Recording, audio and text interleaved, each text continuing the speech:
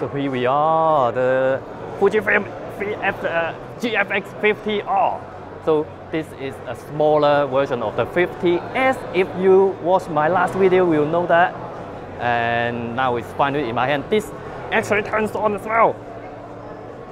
This video is sponsored by Accsoon, Aurora Aperture, Manfrotto, and Rotolight. Oh, look at that. Wow, the shadow of field. And the shutter is actually really quiet. Really quiet. Yeah. Really soft. Really soft.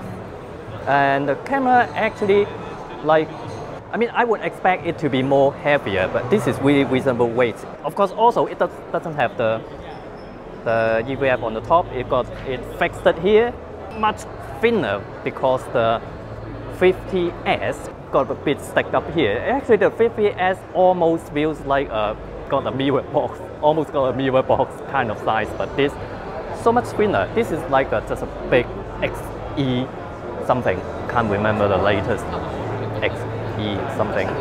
And of course, it's a medium format. Ooh, look at that. Let's take some shots. Wow.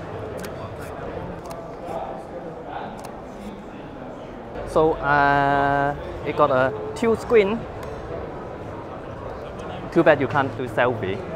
And you can, you do can take video with this. This is a mic jack input, and then of course nowadays people most concerned about dual card slots, instant win according to the internet, and. Uh, and I think it's two thousand dollars cheaper than the 50s.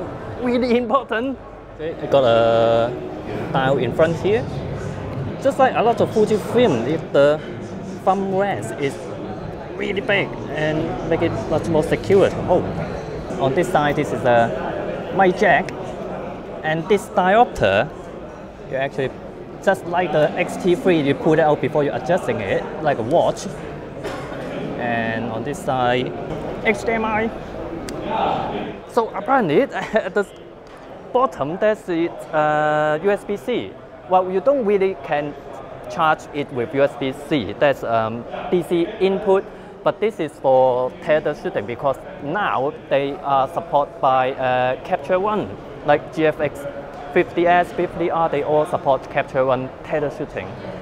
Great for studio shooting. So this is the under development 50 millimeters f 3.5.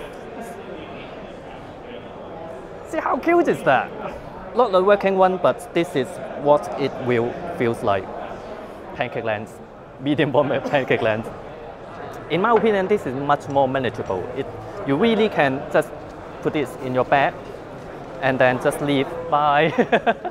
I was really excited last, that two years ago, I was really excited about the 50S because it's so amazing. It's a, I mean, it's a medium format digital full frame, uh, full frame, Fujifilm camera. But this one, I'm excited about another, and for another reason because it's more manageable. It's kind of like more practical. So there you go, medium format, Fujifilm.